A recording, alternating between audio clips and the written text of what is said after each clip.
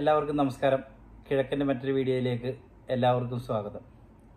കഴിഞ്ഞ ദിവസങ്ങളിലെല്ലാം ഒത്തിരി പേര് വിളിച്ചിരുന്നു. എയർ ടിക്കറ്റ് സംബന്ധമായ ഒത്തിരി ഡൗട്ടുകൾക്കും കാര്യങ്ങൾക്കും യാത്രാ സംബന്ധമായ കുറേ ഡൗട്ടുകൾക്കൊക്കെ ഒത്തിരി പേര് വിളിച്ചിരുന്നു. സന്തോഷം.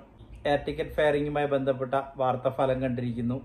ഇസ്രായേലിൽ ഒരുമാതിരിപ്പെട്ട എല്ലായിടത്തും ഒരേ ഫെയറിന് എയർ ടിക്കറ്റ് അവൈലബിൾ ആയിരിക്കുന്നു. അപ്പോൾ ഇന്ന് നമ്മൾ ചെക്ക് ചെയ്യാൻ പോകുന്നത് അല്ലെങ്കിൽ എക്സ്പ്ലെയിൻ ചെയ്യാൻ ശ്രമിക്കുന്നത് നാട്ടിൽ പോയിട്ട് തിരിച്ചു വരാൻ വേണ്ടിയിട്ട് എന്തൊക്കെ ചെയ്യണം? തിരിച്ചു വരുന്നവർ ശ്രദ്ധിക്കേണ്ട കാര്യങ്ങൾ അതിന്റെ അകത്തുള്ള ലിങ്കുകൾ അതിന്റെ ഡീറ്റെയിൽസ് എങ്ങനെ ഫില്ല് ചെയ്യാം എന്തൊക്കെ കാര്യങ്ങളാണ് ശ്രദ്ധിക്കേണ്ടത് തുടങ്ങിയ കാര്യങ്ങളാണ്.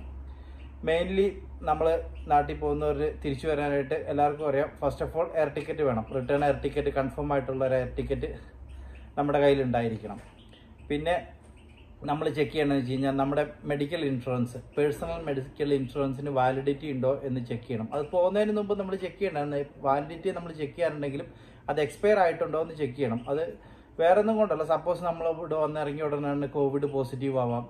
അല്ലെ വേറെ എന്തെങ്കിലും ഒരു സാഹചര്യത്തിൽ നമുക്ക് മെഡിക്കൽ അസിസ്റ്റൻസിന് ആവശ്യം വന്നു കഴിഞ്ഞ് കഴിഞ്ഞാൽ അതിന്റെ എമൗണ്ടും കാര്യങ്ങളും നമുക്ക് സഹിക്കേണ്ടി വരും കഴിയുന്നില്ലെങ്കിൽ അതിനു വേണ്ടിയിട്ടാണ് അത് ചെക്ക് ചെയ്യുന്നത്. R T P C R flight പുറപ്പെടുന്നതിന് നാൽപ്പത്തെട്ട് മണിക്കൂറിനുള്ളിലുള്ള Covid negative R T P C R certificate ആണ് നമുക്ക് ഇങ്ങോട്ട് ആവശ്യം. അതിന്റെ ഇമെയിലോ അല്ലെങ്കിൽ കോപ്പിയോ പോരാ ഒറിജിനൽ തന്നെ വേണം.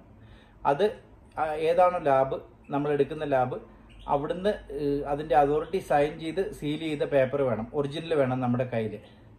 അത് ഇംഗ്ലീഷ് പതിപ്പാണ് വേണ്ടത്. നമുക്ക് നാട്ടിലൊക്കെ കിട്ടുന്നത് മലയാളത്തിലുള്ള പതിപ്പ് കിട്ടുന്നുണ്ട് അത് പറ്റില്ല. ഇംഗ്ലീഷ് പതിപ്പ് തന്നെ വേണം. പിന്നെ അതിനകത്ത് നമ്മൾ എടുക്കാൻ പോകുമ്പോൾ വേണ്ട കാര്യങ്ങൾ എന്ന് പറഞ്ഞാൽ നമ്മൾ ആർ ടി പി സി ആറിന് വേണ്ടി ടെസ്റ്റിന് പോകുന്ന സമയത്ത് പാസ്പോർട്ടിന്റെ കോപ്പി കയ്യിലുണ്ടായിരിക്കണം ഗ്രീൻ പാസ് ഉണ്ടായിരിക്കണം നമ്മുടെ ഇവിടുന്ന് കൊണ്ടുപോയ ഗ്രീൻ പാസ് വാക്സിനേഷൻ സർട്ടിഫിക്കറ്റ് ഇത്രയും സാധനങ്ങൾ നമ്മുടെ കയ്യിലുണ്ടായിരിക്കണം.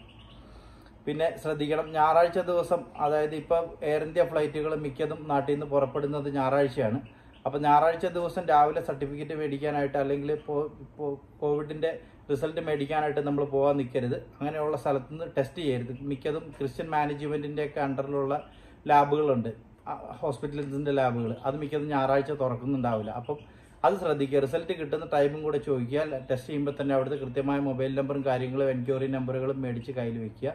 മാക്സിമം ഗവൺമെന്റ് സെക്ടറിലുള്ള ഹോസ്പിറ്റൽസ് ചെയ്യാതിരിക്കുക. കാരണം കോവിഡ് മാനേജ്മെന്റും കാര്യങ്ങളുമായിട്ട് അവരെല്ലാവരും നല്ല തിരക്കിലാണ്. ഇനി ആർ ടി പി സി ആറിന്റെ റിസൾട്ട് കിട്ടിയതിന് ശേഷം അടുത്തത് ഒരു ലിങ്ക് ഫില്ല് ചെയ്യേണ്ടതായിട്ടുണ്ട് നമുക്ക്. അത് ഫ്ലൈറ്റ് പുറപ്പെടുന്നതിന് ഇരുപത്തിനാല് മണിക്കൂറിനുള്ളിൽ ഇരുപത്തിനാല് മണിക്കൂർ മുന്നേ അല്ല ഇരുപത്തിനാല് മണിക്കൂർ ഉള്ളിലാണ് ഫില്ല് ചെയ്യേണ്ടത്. അത് നമ്മുടെ ഡിസ്ക്രിപ്ഷൻ ബോക്സിൽ ഇടുന്നുണ്ട് അതിന്റെ ലിങ്കും കാര്യങ്ങളെല്ലാം ഡീറ്റെയിൽ ആയിട്ട് ഇടുന്നുണ്ട്.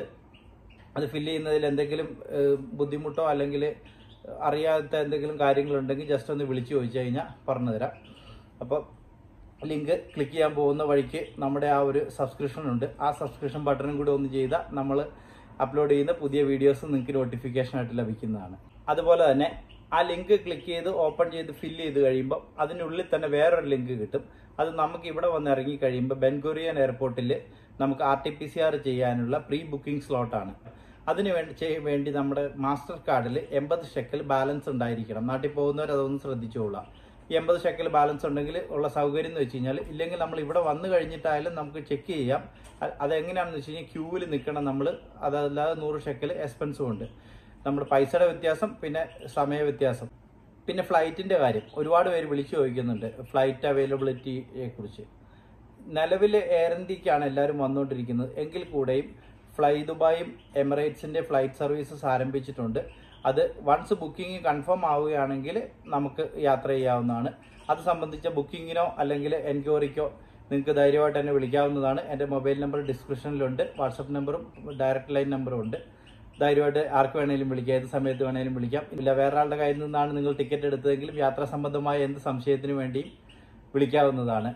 അപ്പോൾ ഇതുവരെ നിങ്ങൾ തന്ന സപ്പോർട്ടിന് നന്ദി നമസ്കാരം.